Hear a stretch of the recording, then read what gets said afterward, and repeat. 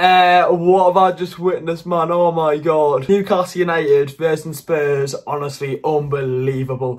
Today we're doing the player ratings in this video. Make sure you leave a like, like, subscribe to the channel. The support on the recent video. It's been out for like 20 minutes and I'm grinding these videos out. Because honestly, what on earth has happened before? Any neutrals watching? Make sure to leave a like, subscribe to the channel. Any Spurs fans watching, let me know your thoughts on the game. What's the reaction I button at the top corner? Uh, just, just about there. Bit higher, up, but about, about, there. Just click there for the reaction. It was, a, it was a great one. Purely my initial reaction on the game. But honestly, lads, unbelievable. In today's video, we'll look at the player ratings, rate the players from 1 to 10. Yes, we got really lucky at the end. And that's what that's the highlight of the game now. But we can't deny we were shit. Second half were a lot better.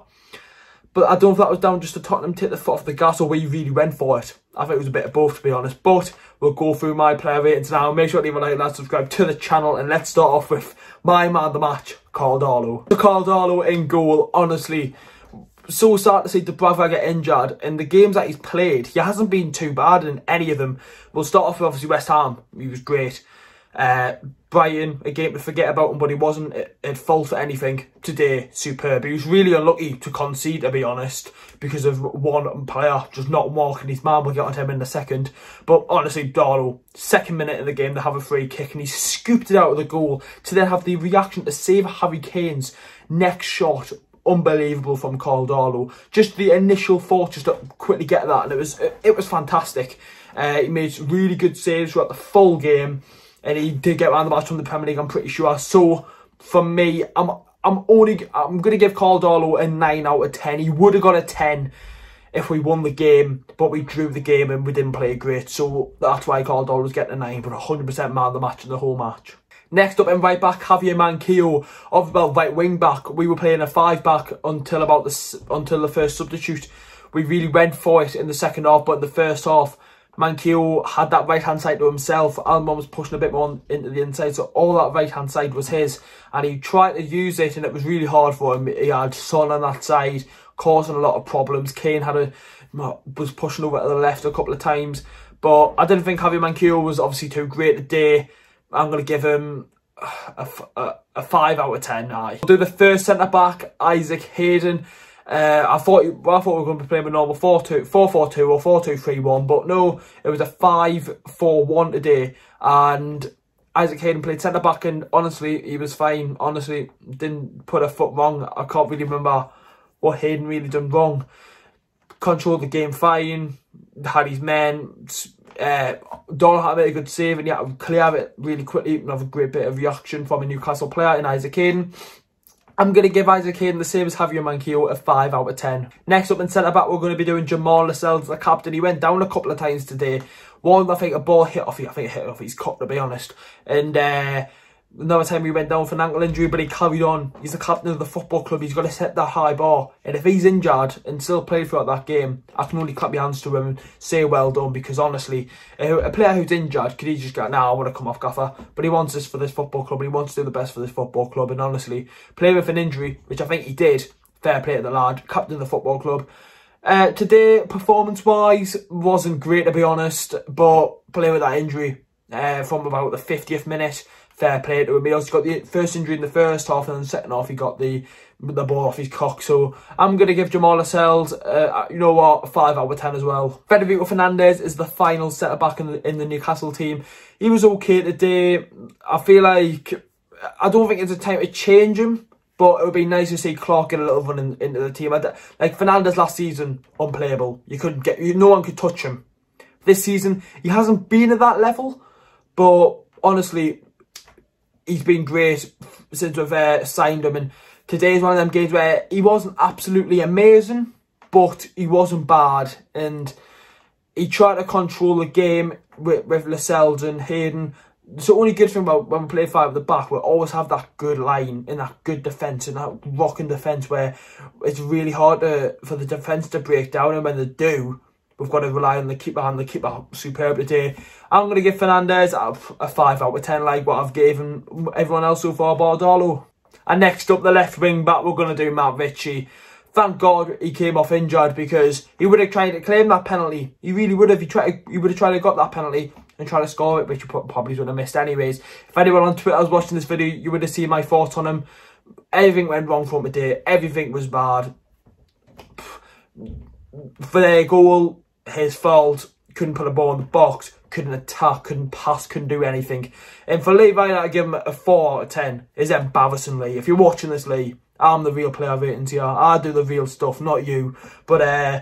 Matt Ritchie, 1 out of 10. Midfield now, the two centre mids will do. Jeff Hendrick.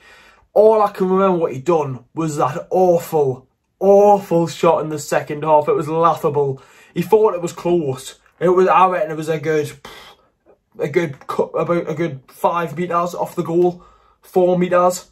It was, it was literally the goal's in front of him like that. He's in the middle of the goal and he hits it so far to the left.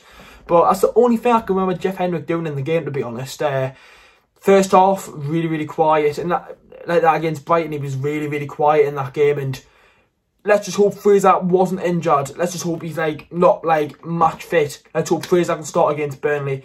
Yeah, Jeff Hendrick could be playing against his old team, which is always like a questionable. Do you play your players against your, their old team? But we'll have to wait and see about them videos soon. But for me, Jeff Hendrick, 3 out of 10. Next up, Jonjo Shelvey.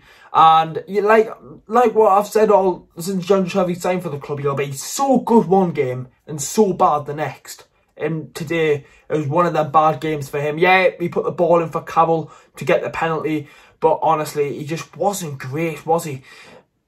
Too many long balls, trying too much. Think the ball's always a him. No, mate, just just play the simple way. It's the only way where we're going to get somewhere by playing simple football. And for me, Shelvey wasn't great today, and I'm going to give him a 2 out of 10. Next up in the attack, we'll start off with the right midfielder. We'll do Miggy. Miggy Almiron. Whole season, we've wanted him to start, and he does start, and he wasn't he wasn't terrible, but he, he wasn't too bad. He wasn't great. Uh, throughout the season, he's got loads of assists. He's got his first goal. He's off the mark. And Miggy today, he wasn't terrible, but he didn't stand out in the game like a couple of a couple of the other players. I'm going to give Miggy Leg what I've given everyone else. A bang average performance for me, 5 out of 10. Joelinton next, and he's on the left-hand side. Obviously, he got two goals against Morecambe in midweek, and he comes on Sunday, and it's his special game. He got his first goal at the club, at the stadium. He played, and he played in the left mid role. And to be honest, lads, for me, he was our best outfield player throughout the full game. He had that chance in the second half where he literally, he turned from being, I don't know, uh, Fred, the Brazilian striker, to R9 Ronaldo. Like, literally, he turned two Tottenham players inside out, put a ball, I don't know if it was a cross or a shot, either one of the two, it was a really close chance. And he was better, he looked confident, he was, he actually ran with the ball. So I say Joelinton, he'll turn back or he'll just pass it in the middle. He's running with the ball. And you need that from a big, strong lad like himself. And honestly, I think I feel like he had a really good performance today. 7 out of 10 for me for Joelinton. And the Mags goal scorer, Callum Wilson, with the penalty. I was so happy he took it and scored it. Because I thought Andy Carroll was going to take it from what I seen on Twitter. But Wilson stepped up and Wilson scored it. He was he was so isolated today in a 5-4-1. He was getting balls to him where he had to hold the ball up where we know Callum Wilson isn't that type of striker. And trying to play it off where he couldn't really have cutting players all over him throughout the full game. But that penalty is obviously going to put his rating up, obviously. For the for doing that in the 97th minute, a step before penalty and put it away, if there's fans there or not, fair play to the lad.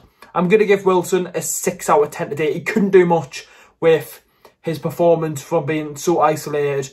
He didn't have that many touches, but he scored that penalty that got Newcastle United a point. Next up, we'll do the substitutes. Starting over the first one was Jamal Lewis. Thankfully, he's not been out for long. That that injury that he got last week could have been life-changing. That, that, that could have put him blind, right? But thankfully, thankfully, he's okay and he came on. And since he came on, we looked like a better team.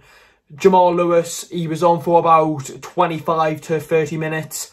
I'm going to give Jamal Lewis a solid 5 out of 10. Next substitute was Jacob Murphy. And Bruce said he's not going to send him out on loan. He was so good against Morecambe midweek. He was fantastic. But he just wasn't the same today. Obviously, it's Spurs and whatnot. It's his first Premier League game since Chelsea 2018, I think. Oh, no, it was a bit later. Uh, since the Rafa days. That was last time Murphy played a Premier League game. Back probably probably back in about January, probably about uh, Blackburn when we beat them 4-2. That might have been the last time Jacob Murphy played properly for Newcastle United. And he came in today. He didn't really do much, but he didn't really have that much time. I'm going to give him a 5 out of 10. And finally, the man who got the penalty, that was a penalty, Andy Carroll.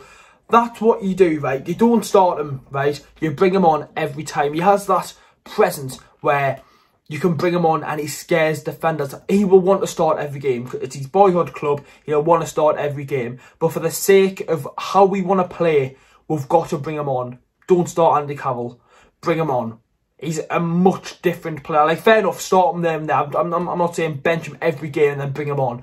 Start him there and there, but don't, like, constantly play him. Like, he started the first two Premier League games. He was great versus West Ham and really, really shit versus Brighton.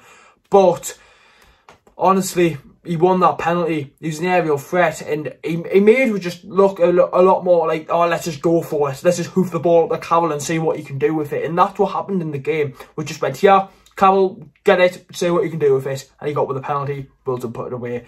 Uh, for me, Andy Carroll, for, for the sake of winning the penalty and changing the game, I'm going to give him a 7 out of 10. Right then, lads, that's the end of the player ratings. Make sure to leave a like, subscribe to the channel if you haven't already. Like, honestly, if we lost that game, it would be a lot different, but to get that penalty in the end, it was so relieving, and thank God we did. Anyways, lads, I'll see you all in the next video, which will be the preview for the Newport game. How are the lads? What's the reaction? If you haven't already, come on. Wilson is the GOAT. So far, come on.